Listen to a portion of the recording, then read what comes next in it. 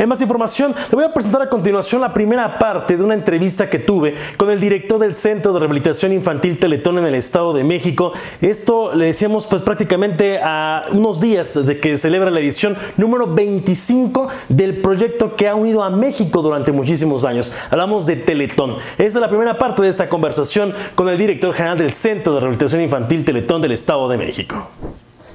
Continuamos con más en TVMX Noticias hoy tengo el gusto de estar aquí en el Centro de Rehabilitación Infantil Teletón del Estado de México y quiero agradecerle muchísimo a su directora Jardiel Quintal Delgado que nos haya recibido. Director, muchas gracias por recibirnos aquí en este CRIT. No, no tiene nada que agradecer. Esta es su casa y de todos los mexiquenses. Vaya proyecto que durante, se dice fácil cuando veo 25 años. ¿En qué momento pasó tanto, tan rápido el tiempo, director?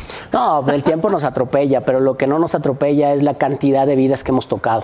¿no? Nos sentimos sumamente honrados de que la sociedad mexiquense siga confiando en nosotros, que venga el CRIT y que nos deje lo más importante, a su niño para rehabilitar. Eso no es de la noche a la mañana, eso se ha construido con resultados, es muy importante y, obviamente que, la gente sepa que estamos abiertos para todos.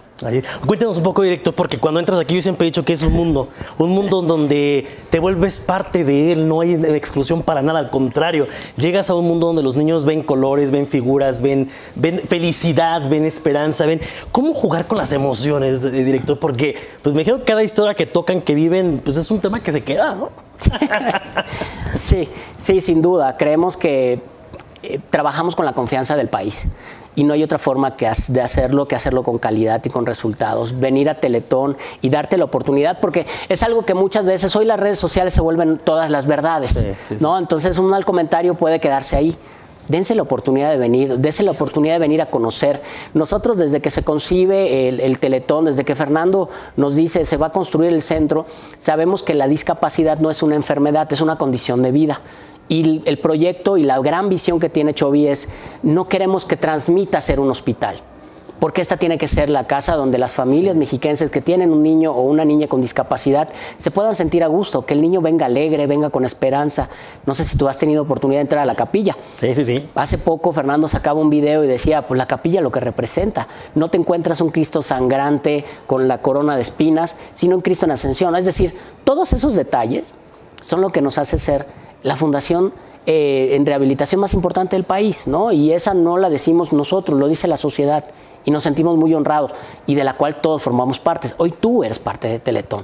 Hoy tú estás aquí, estamos haciendo esta entrevista que nos da esta ventana a través de los medios de comunicación para que más gente la conozca, más gente se acerque ¿no? Y tú hoy eres un vocero también. Director, tengo, digo, tengo la oportunidad de, visitar algunos CRIT, me recuerdo mucho el CRIT de Aguascalientes, que platicaba con un taxista, era voluntario, decía yo por las tardes vengo, ayudo a los demás. Vaya que la capacidad de, solidaridad de los mexicanos, el amor, la, pasión que le ponen a los proyectos, inyectas un motor para que esta fundación siga con 25 años ya. No, totalmente, totalmente. Te platico, la semana pasada, eh, parte de los retos que tenemos hoy en Teletón es salir de nuestras paredes y hacer comunidad. O sea, irnos a algunos municipios, conoces bien el Estado de México, grande, con diferentes retos, y estuvimos en Tenango del Aire.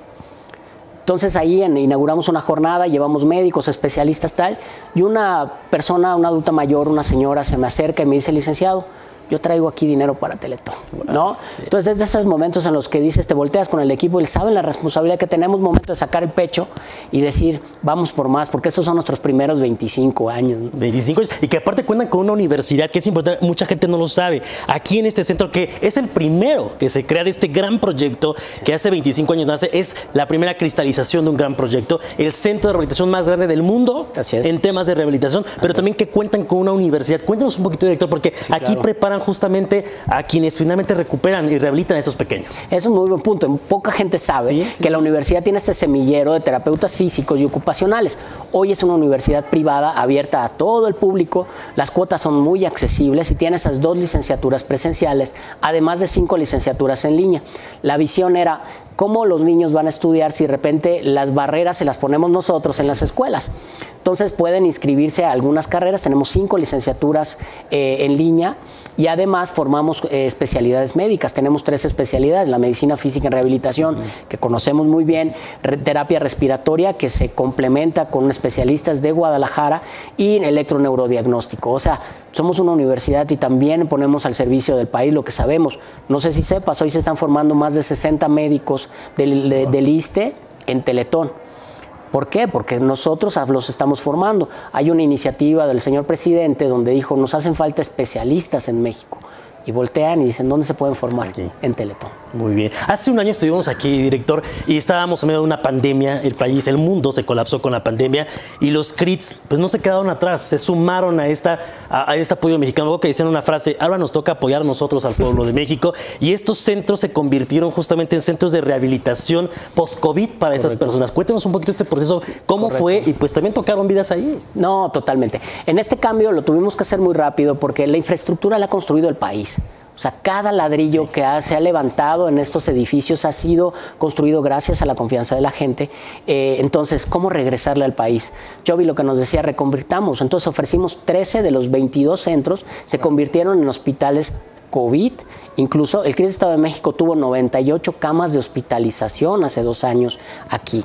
Adicional a ello, nos dimos cuenta que contábamos con todos los especialistas para brindar posterior al COVID un protocolo de atención post-COVID y abrimos las puertas también para adultos. Entonces, solo en el Estado de México te doy un dato. Atendimos a más de 705 adultos mayores que tuvieron afectaciones post-COVID. Sabes que luego te pasabas la etapa de COVID y te costaba eh, trabajo respirar, o a los adultos mayores les costaba pues, salir a la calle, es un tema psicológico. O si estuviste hospitalizado, perdiste tono muscular, te ponías de pie y temblabas, necesitabas terapia física, o te intubaron y te lastimaron las cuerdas bucales necesitabas terapia de lenguaje. Todo lo encontrabas en el CRIT y todo se puso a disposición de la gente. ¿Y continúa todavía ese servicio? Sí. Continúa, o sea, sí, la gente puede seguir. Hay una hay lista de espera, cuéntenos un poquito de ese tema. Como te platicaba, nosotros en la capacidad del centro hoy estamos atendiendo a 2.400 familias del Estado de México, de todo el Estado de México en un programa integral. Pero adicional, como una fuente, tenemos una clínica privada. El CRIT puede, cualquier persona que necesite servicios de rehabilitación, de terapia robótica, de rehabilitación eh, pulmonar, de algún un estudio de algún neurólogo, puede venir aquí y los costos son mucho más económicos y lo más importante, están becando un niño con discapacidad para que se atienda con nosotros. Director, ¿cuál consideras que, ha sido el éxito, la fórmula? Porque hay muchas fundaciones, todas finalmente desde su trinchera, haciendo una labor para sacar adelante este país. Siempre he dicho que somos más los buenos que los malos, esa es una realidad de este México. Pero ¿cuál consideras que ha sido la clave de éxito para que la Fundación Teletón continúe de pie? Y yo me atrevo a decir, con un nuevo aire, con una nueva, en estos 25 años que ahorita te voy a preguntar acerca de lo que tienen programado para este 17 de diciembre, pero de retomando esos nuevos brillos, ¿cuál crees que sea esta fórmula? Los resultados los resultados y la transparencia. Nos debemos a la sociedad. Teletón tiene que ser una caja de cristal, donde tú puedas darle un seguimiento total al, al, donativo y puedas venir. Hay mucha gente que puede venir. Las paredes son blancas. Tienen que ser blancas. O sea, no queremos ser esa institución que recibe esos recursos y no sepas dónde están. Solo visitas el centro y te das cuenta dónde están los recursos, te das cuenta de las instalaciones, del personal, ahí en el resultado de dónde está el donativo y particularmente en el tocar la vida de los niños, que eso es a lo que nos debemos.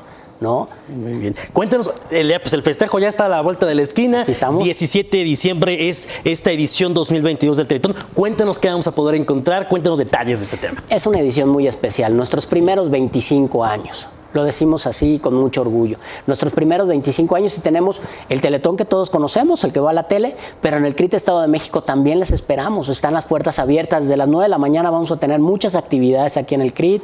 Tenemos un elenco infantil desde las 9 de la mañana, recorridos, que quiera venir a recorrer las instalaciones. Tenemos show, tenemos una sucursal del banco para quien quiera donar. Tenemos artículos promocionales. Tenemos una variedad de actividades hasta las 11 de la noche. Ahora sí que hasta que la gente se quiera ir. Y en la parte de televisión, pues el evento que todos conocemos. Arrancamos a las 8 de la mañana del 17 de diciembre en foro, prácticamente es un evento cerrado, como todos lo conocemos, donde estaremos conociendo historias de logros. Eso es importante, invitar a la gente a que vea el Teletón. Es importante que hoy eh, el logro, los logros de los resultados se vean en esas cápsulas, que se den la oportunidad de ver el evento.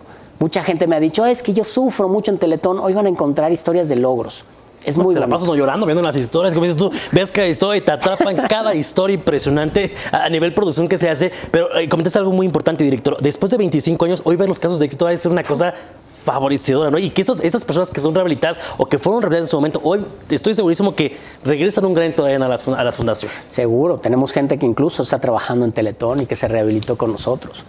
O sea, así de grande, chavos que hoy están en la escuela. Nosotros no creemos en la caridad, nosotros creemos en la solidaridad.